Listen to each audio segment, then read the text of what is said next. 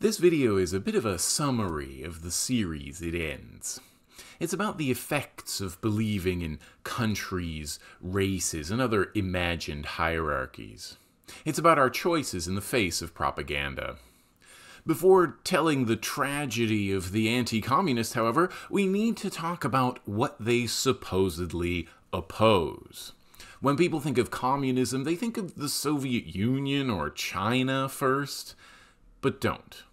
They're not communist. You can watch this video if you'd like to argue about that. In fact, when we try to define communism as the ideology of a state, our definition becomes circular. Communism is whatever they do, and whatever they do is communism. States use philosophy for their own purposes, which evolve faster than dictionaries. Am I saying all the people who claim communism means dictatorship like the USSR or Vietnam are wrong? Yes, I am. So let's ditch the propaganda definitions of communism. What's the communist ideal? Communism means a society with no property or money, because resources are shared. So there's no poverty and no classes to fight each other for control. Communism means no central authority to force us to work and follow its laws. So instead, we make and enforce rules and norms together as equals.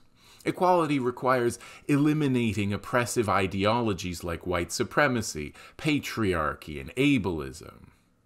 It means no borders, so people aren't held back by lines on maps. Communism is also the movement, such as it is, against capitalism and for a communist society. Communists work towards these communist ideals. Until states and empires took over the earth, most societies in the world were communist in at least some of those ways.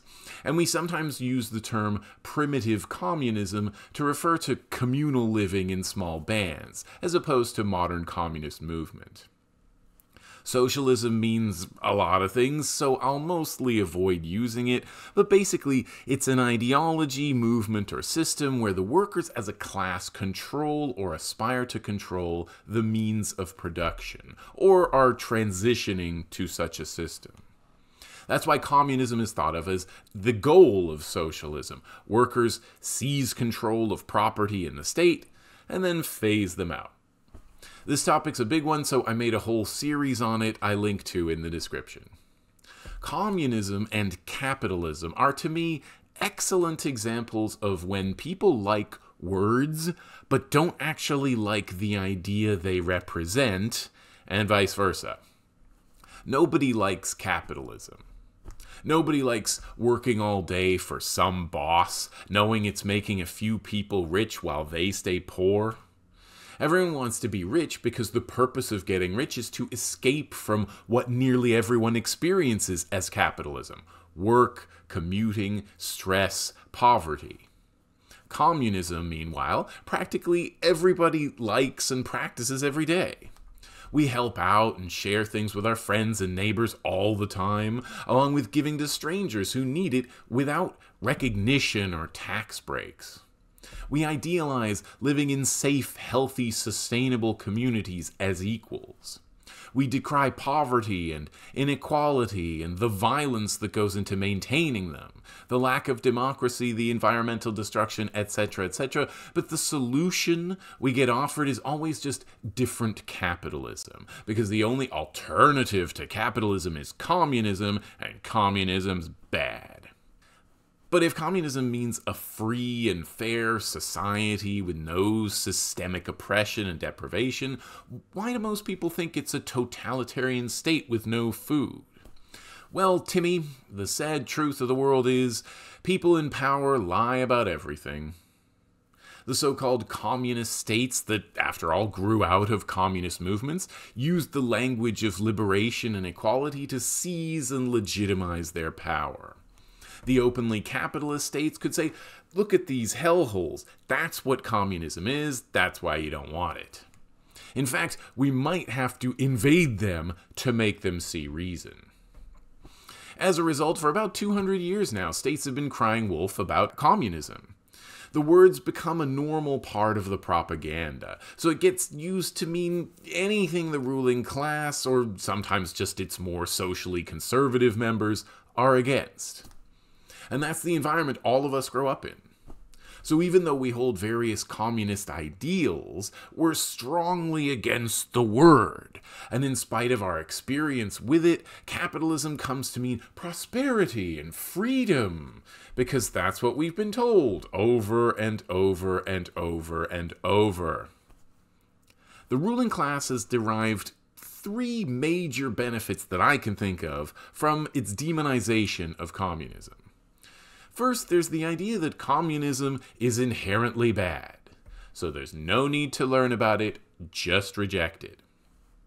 Second, we have the vague impression that any change to the status quo is utopian and would only result in civil war or something until we inevitably found our way back to capitalism. Unless, of course, that change is more power for the people with power, which is always considered realistic.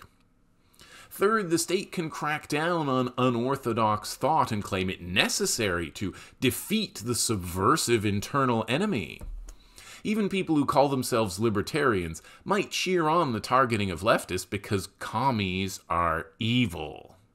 When people realize the capitalist, imperialist, white supremacist patriarchy they live under doesn't work for them, they begin to resist.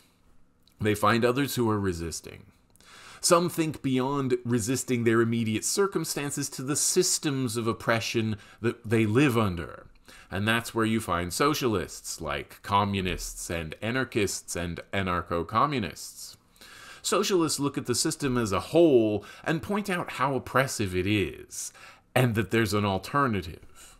That makes them dangerous to the people with all the money. Any serious movement for liberation, from the Panthers to the Palestinians, gets repressed. For the past century, when a socialist movement has become too powerful, the ruling class has responded by encouraging fascism.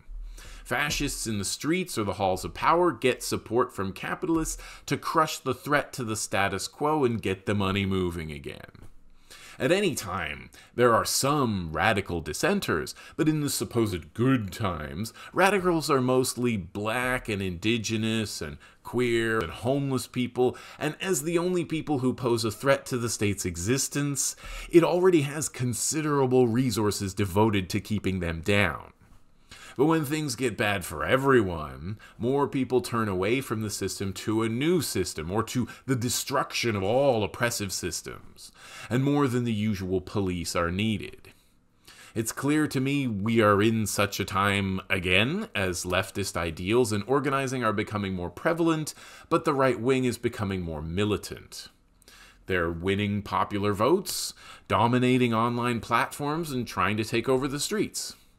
These people are well financed. As it turns out, this guy, like many members of the fascist goon squad, calls himself anti communist or anti anti fascist. As basic arithmetic could tell you, an anti anti fascist is a fascist. An anti com anti antifa isn't just someone who doesn't like communism. It's a fascist in places where it's considered unsavory to admit it. Now, you might remember I said there's a world of difference between communism and what gets called communism, but one feature of the anti commie is he's opposed to both. He doesn't care about the distinctions. He might even dream of building an ethnic commune in the woods somewhere, but of course, he would never call it that. All he needs to know is commies are against the hierarchies of race and wealth that he wants to uphold. He's opposed to any words and feelings he's been taught to oppose since childhood, and communism is definitely one of those words. So, what was his upbringing like? The first thing the anti communist remembers is his parents and teachers taught him to love his country, or more accurately, its symbols, which he puts on his wall and salutes every day. The adults yell at him for sharing, being diplomatic instead of fighting and wearing pink that one time, but other ways they don't have much time for him and kind of leave him in front of the TV all day. Even the cartoons seem to prove our system is better. When anybody preaches disunity, tries to pit one of us against the other through class warfare, you know that person seeks to rob us of our freedom and destroy our very lives. And we know what to do about it. In school, he learns about his country's glorious history and heroes, who all happen to be white guys with guns and maybe slaves who happen to be black. He learns the way his heroes dealt with problems was by killing off whole groups of people. He learns that was all fine because it helped build his country and civilization. The adults in his life teach this boy to play games to win, to believe in winning as inherently good, something that matters, even when it doesn't matter. He listens to athletes and rich people giving TED Talks and concludes winning is important, though he's still fuzzy on why. But that doesn't matter. He reasons these successful people say it, so they believe it, so it's probably true. He gets coached by Ron Swanson. Capitalism, God's way of determining who is smart and who is poor. So he becomes competitive, trying to outdo the people around him and prove himself. He's unsatisfied because he never reaches the goals he thinks others want him to reach. And he doesn't really enjoy the activities he engages in because he focuses on winning. He bullies others in school, sports, wherever to make himself feel better by proving himself superior and to muscle out competitors. He finds it's much easier to get others to ignore or approve of his bullying if they already have a reason to, like if the victims are different races or nationalities, or don't conform to our norms and reach our standards. Defeating someone makes him feel better because it was the only thing mom, dad, and Coach Ron ever valued. Naturally, the guy's drawn to people who confidently say the same things he's used to be proud of and defend your country. White men built this country. Life is or should be a competition to find the best among us. Men should dominate people they consider weaker. Things were better before non white, non man had a voice, and we should return to something that never existed. He learns to speak confidently too, because you're more persuasive that way, and because that's how you get laid. He starts calling himself an alpha, and other guys betas, because he knows gender is a spectrum, but he imagines it as a hierarchy. He wanders deep into online communities, People tell him, You've been lied to, and uh, a group of rich elites control the world. Because it only takes the most basic observation to realize what we've been told all our lives isn't entirely true, and we have huge inequality. But if, like most of us, you've never questioned things, it sounds like a stunning revelation. The guy finds everything blamed on wokeness, then on communism, then, as he goes deeper, the Jews who are behind all the wokeness and communisms that are trying to replace white people. He regularly consumes media that make him angry at everything that gets called communism. All the time he's being fed this stuff, he never asks what the word means, because communism is whatever you disagree with moving to a new place, trying to stay healthy, acknowledging racism, dancing or whatever's going on here, but also not dancing. Big corporations, presidents of capitalist states upholding the law. This is like communist level sh- Forget the egalitarian society. The last stage of communism is when a rich guy gets arrested for one of the hundreds of crimes he's accused of. Then our anti communist watches this movie, which clinches it for him communism is all over the place. Man, what did you do? You spilled the communism? Oh, it's all over the place. Now I have to make a movie to warn people. The guy figures he has to be anti communist to protect what he's been told he values against things he's been told are happening. He's got reasons. Trans people exist, mask mandates, black people in movies, plus the commies are gonna take your children away. And the anti communist has already harassed workers at Target and burned his shoes, so he's ready for a rally. You've seen anti communist rallies before, right? They don't always go as planned. Fascists are really dangerous because they love power and violence, but they have this thing about underestimating their opponents. These communists are all cowards. In building their pure Aryan society, they might get beaten up a few times. You go around acting tough and end up on the ground. You underestimate the anti fascists you're fighting and you get hurt, maybe multiple times. This guy's been taught power and money are the measure of a man, but he isn't connected to power and money, so he's insecure. He invents hierarchies of race, nation, and gender and puts himself at the top so he can have that small measure of power over others and feel better about himself. Tragic. Rallying to defend made up hierarchies, and finding out they don't protect you from pepper spray. But what if the anti communist succeeds? What if his dreams of white supremacy, where everyone's dead or subordinated to white men, come to fruition? The first change the guy might notice is he has to work more. The people who did most of the work are gone now, so cis het white people will have to pick up the slack. As loyal partisans, they would never dream of unionizing and would get punished for suggesting it anyway. Unions are commie bullshit. He sometimes dreams of the simple life he was promised in the return memes, where him and his trad wife could walk around topless on a hillside all day, but he realizes they were always just promises. There are no more ethnic communes he could run off to. They've all been destroyed to force people back into the workforce. What's more, child labor is legal now, so his kids go off to work in factories all day from the age of five. The only education they get is chanting slogans about race and blood and heroes and enemies. Competing, bullying, and snitching are all compulsory now. There is no more public space left, but it doesn't matter because people are at work all the time, so there's no time to enjoy it, so no one notices. Nature's rapidly being wiped out, but any objections get shouted down as inimical to the market and foreign communist propaganda. Then there's the war.